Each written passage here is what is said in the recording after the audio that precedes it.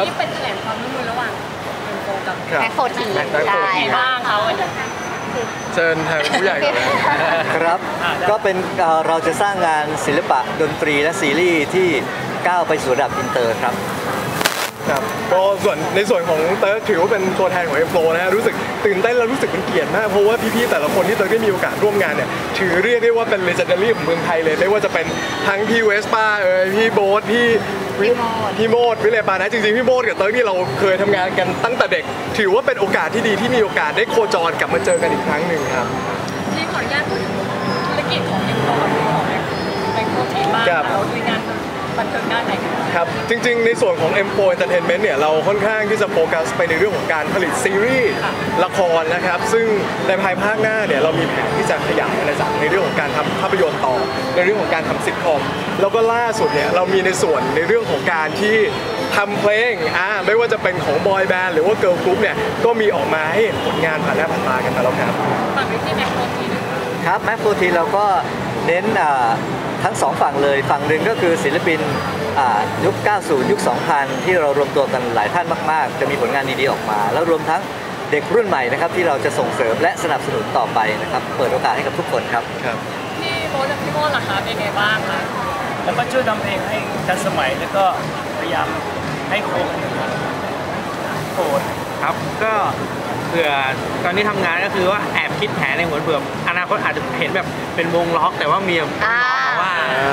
หน้าหล่อๆสวยๆมาเต้นแจมเหมือนหน้าคอลแลบกันอะไรอย่างนี้เนาะใช่ครับค่ะสองคนจะลดผลิตกำลังด้านไหนบ้างจริง ๆ แอบแอบแอบนิดหนึ่งว่าค่อนข้างค่อนข้างคาดหวังว่าเราอยากจะได้เพลงจากของทางแบ็คโปรทีนเนี่ยมาประกอบซีรีส์ของเราเพราะว่าหลายเพลงเขาเนี่ยโอ้โห ยอดวิวเนี่ยไม่ธรรมดาแล้วก็เพราะด้วย คิดว่าก็น่าจะมีโอกาสที่ให้พี่ๆเขาเนี่ยได้แต่งเพลงลงมาในซีรีส์ให้กับเรานะครับแล้วก็ในส่วนของทางเอ็มโปเนี่ยเรื่องศิลปินเราจะผลักดันยังไงมิ้น ก็จริงๆนะคะก็คือจริง ๆ แล้วแม็กโ r ทีนเองนะคะก็มีศิลปินน้องใหม่เนาะหน้าใหม่ที่แบบเป็นวัยรุ่นอะไรอย่างนี้เหมือนกันนะคะก็คือเราเนี่ยไม่ได้มีคือทางแม็กโ r ทีนไม่ได้มีเพลงแค่เหมือนสไตล์เดียว จริง ๆ แล้วทำได้ทุกสไตล์ทุกแนวเลยเหมือนกันค่ะของมิ้นเนี่ยก็จะเข้ามาช่วยดูในการปรับบุคลิกเนาะแล้วก็เทรนนิ่งน้องๆที่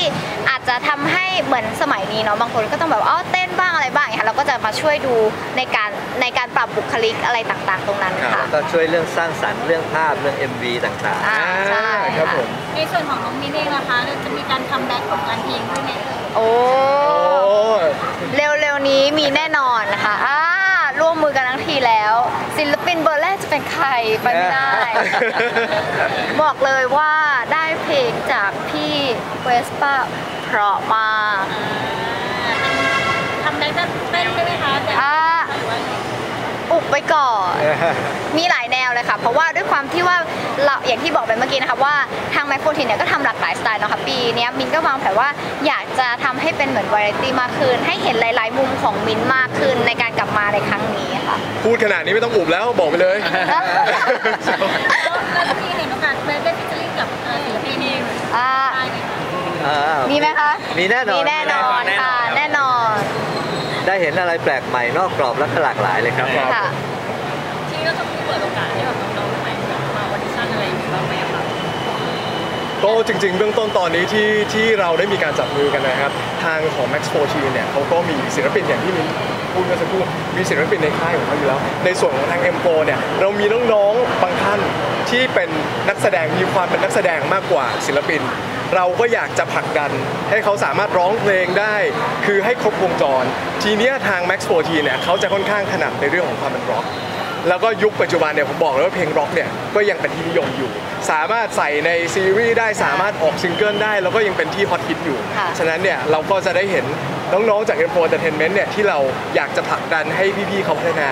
บุคลิกภาพ แล้วก็ศักยภาพครับ แล้วก็ส่วนน้องๆรุ่นใหม่นะคะ ถ้าอยากจะเป็นศิลปินมีให้ออดิชั่นแน่นอนค่ะ จริงๆครับ ก็จริงๆอะสามารถใครที่มีใจรักค่ะก็สามารถส่งเข้ามาได้เรื่อยๆ เลยเนาะเพราะว่าอย่างที่บอกค่ะว่าพอเราร่วมกันแล้วเนี่ยมันไม่จำกัดนะคะแบบความฝันเนี่ยมันไม่มีที่สิ้นสุด ไม่มีขอบเขต ไม่มีคำว่าอายุเท่าไหร่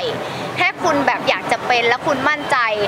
คุณส่งเข้ามาเลยค่ะ เดี๋ยวเราจะรอคุณค่ะ และสิ่งสำคัญก็คือสัญญานะครับ กับส่วนแบ่งของเราเป็นระดับเป็นแบบสากลซึ่งเป็นธรรมที่สุดครับครับฝากช่องทางการติดตาม